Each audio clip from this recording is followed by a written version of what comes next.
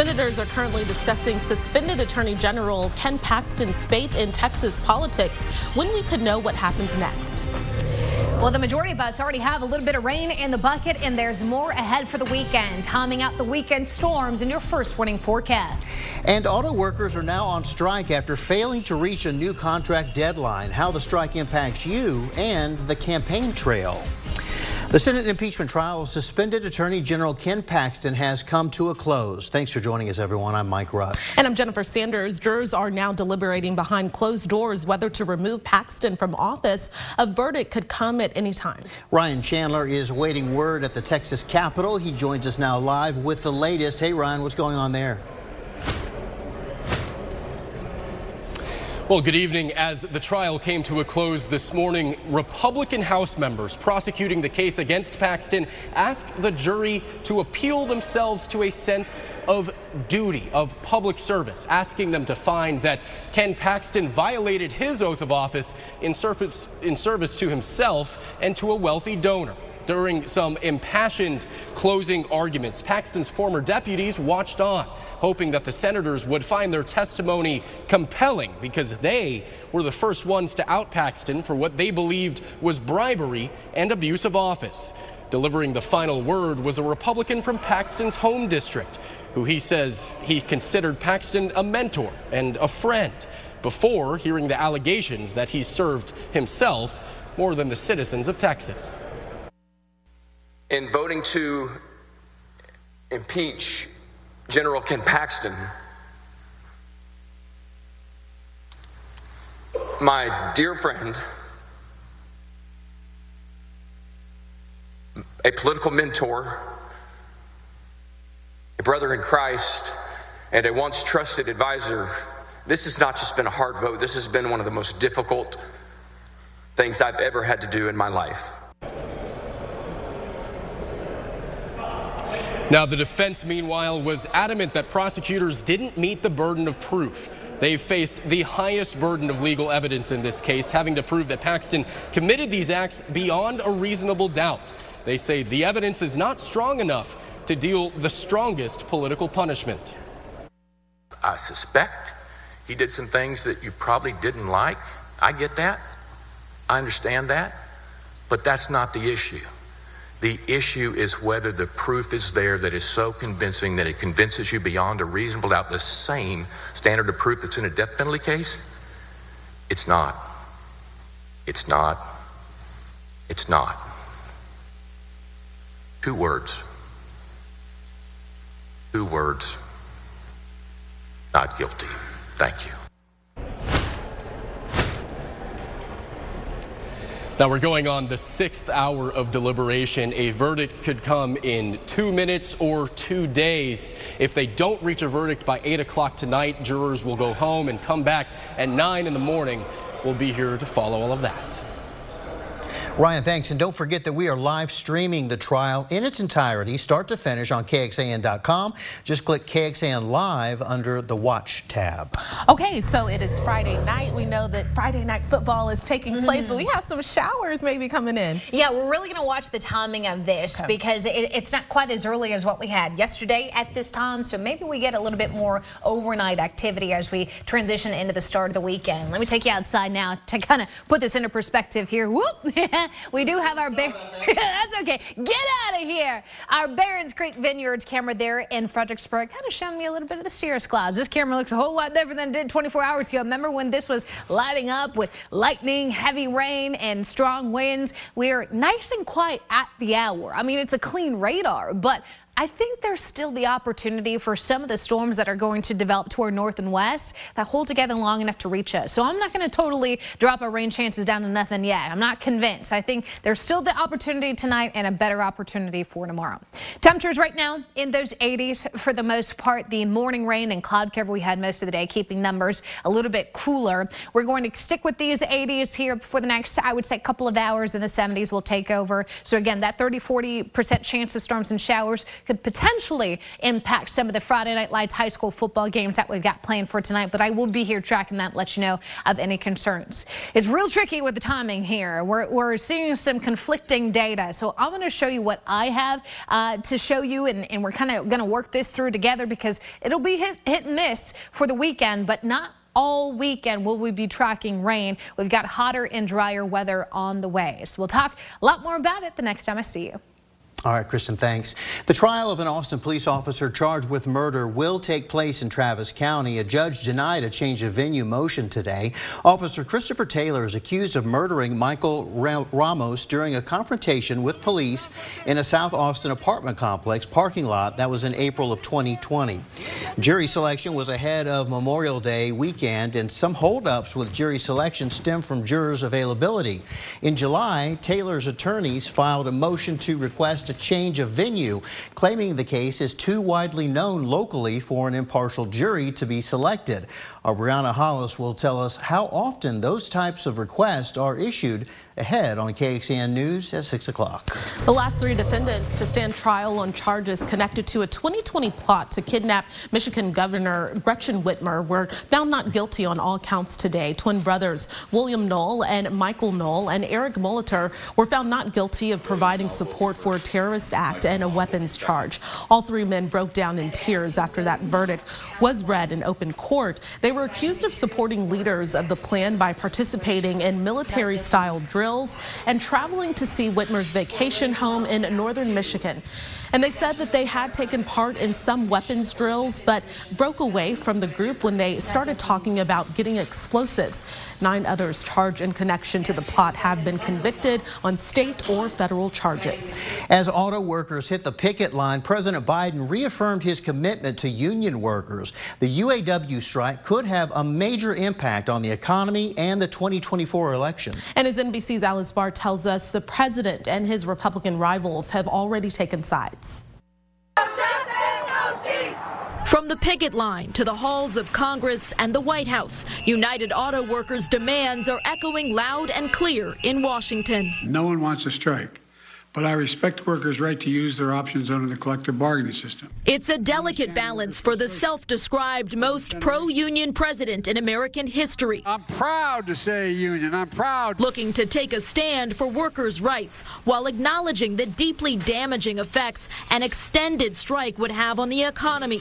President Biden pointing to automakers' record profits over the past decade. Those record profits have not been shared fairly, in my view with those workers. No deal! No Right, yeah. Michigan Senator Gary Peters joins striking workers in the Detroit suburbs as they try to reclaim some of their power from the heyday 1960s. The average CEO made 30 times what the average worker makes in this country. Right now, you have CEOs that make several hundred times what the average worker makes. President Biden sending acting Labor Secretary Julie Su and senior advisor Gene Sperling to Detroit to help facilitate a deal, knowing the stakes in the must win state of Michigan as he seeks a second term in the White House.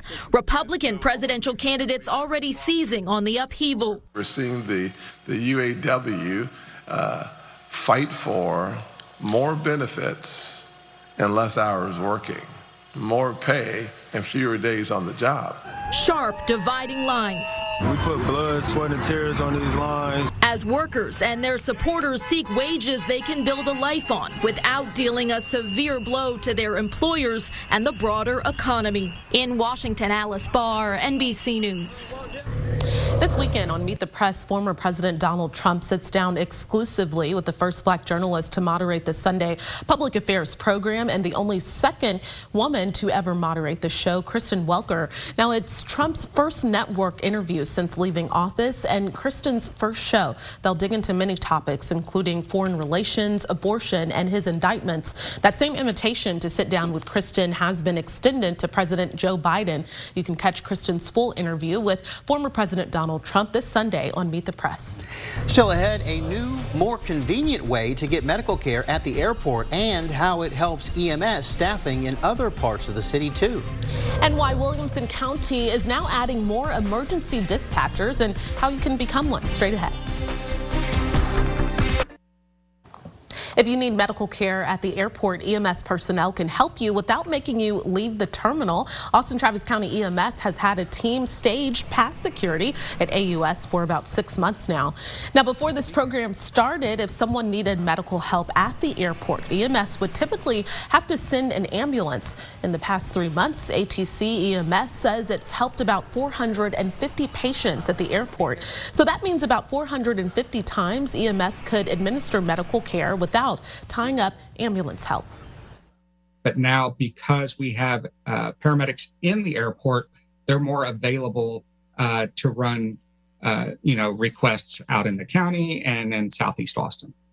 And if airport medics determine a patient needs more serious medical care, they of course still take them to the hospital. The agency is still in the process of building its mini station inside the airport, so that should be done, quote, soon. And of course, we'll update you when it's up and running. Williamson County is now hiring dispatchers for next year. Eight dispatchers are needed. To qualify, you have to be at least 18 years old with a high school diploma or the equivalent education. You do not need to be licensed to apply. Williamson County says last year it added 12 positions because of the growth in the county. Applications close on September the 27th. Well, if you can't tell by the ridiculously loud music here, football is on the docket. Week four of high school action. We got the Battle of the Bell. We're previewing Westwood and Round Rock coming up next. And looking at some of the preliminary numbers here because we had some of the clouded morning rain. I think we're still looking at one or two degrees warmer. Currently sitting at 88. So so far we've seen a high of 87 at Camp Mabry. You'll notice the Austin Bergstrom Airport clocked in 90. Picked up about 22 hundredths of an inch of rain yesterday. Still well below average as we get into the month and for the year. Hoping for a little bit more improvement in the days to come. We'll talk more about it the next time I see you. Well, storms last night pushed a lot of the high school football games back, one even postponed, but it looks like we'll get some of those games in on time tonight, including the great rivalry in Round Rock. Noah Gross joins us ahead of the Battle of the Bell. Hey, Noah. Hey, Mike. Well, if I didn't know any better and legal was not an issue, we'd be just playing some Meek Mill. I wouldn't even be saying anything. But we do have some football on the, on the docket tonight. And what a big one. You talked about those storms last night. We had a great game on KBVO between Lampasas and Connally going down to the wire, hoping for a similar one tonight between Round Rock and Westwood here at Kelly Reeves Athletic Complex. Let's get some of the video. These two teams have played, obviously, for a long time. And it's been Round Rock that's really dominated things as of late. I believe you're seeing a crazy interception from last year's game. Round Rock has won every year since back in 2017. Westwood trying to reverse that trend this year. And if the early season is any indicator, things are definitely trending in the right direction for the Warriors. They are 3 0 Round Rock 0 and 3 so far. The Dragons have faced three very good teams, including a, a close one last a, couple weeks ago that made them 0 and 3. So they're hoping to get their first win of the season here in the district opener. A very big game with both these teams. The history involved. They are one is orange, one is red for Texas and Texas A&M. So there's emotion, there's a rivalry. It's friendly largely. We're excited for this one. A lot of games in the area, guys. As far as the storms, seems like a beautiful night here. A little warm. The one thing I I want to ask Kristen about, I don't know if this is a weather thing, is last night at the game, it might be because the storms, there was crickets or cicadas flying from the sky and hitting me unbelievable in an unbelievable amount. I don't know if that's a weather thing regardless, but as we can tag out here. Football tonight we'll have more at 10. Kristen, now if you can answer. Uh, Noah, that's a Texas thing, actually. uh, you know, it's so funny you, you actually bring that up because we have a reporter working mm -hmm. on that Grace Reader. tonight. Grace Reader is digging into the details about why all of a sudden we're seeing the crickets around. There, now, I think there is a little bit of a weather component, but they also, you know, share Texas has a home just like we mm. do. Well, just the fact that they were going at him so much, that sounds like a Noah thing kind of to me, but that's yeah, a different story Personal problem, but no, I've seen him around, of course, too. So let me show you what we've got going on with your forecast here because you'll notice right now we're dry. I mean, yeah, out where Noah is, we're seeing plenty of blue sky, but there's still some storms that might approach us. So I'm not letting my guard down yet. I think there is that opportunity we're going to be uh, looking at some more rain, but also having to dodge some more storms here as we get into the later part of this evening. We're watching the stationary front to the south of us. You can see behind it, we've got the 80s and 90s out ahead of it. Hot still 90s to low 100s there down in South Texas.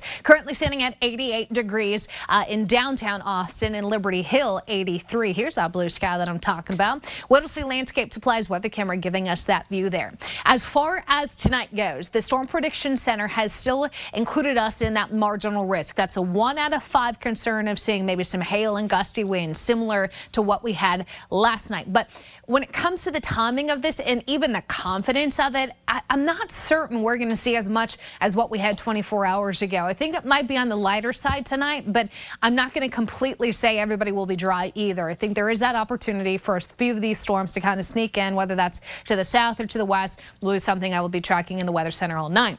Once we get into tomorrow, I'm fairly confident in a round of storms coming in for the morning. So if you've got Saturday morning plans anywhere from about maybe 6 a.m. to 10 a.m., watch the skies because some of these storms will be coming in along a front here that's likely to move into the I-35 corridor late morning into the early afternoon hours and then continue to push into our eastern counties thereafter.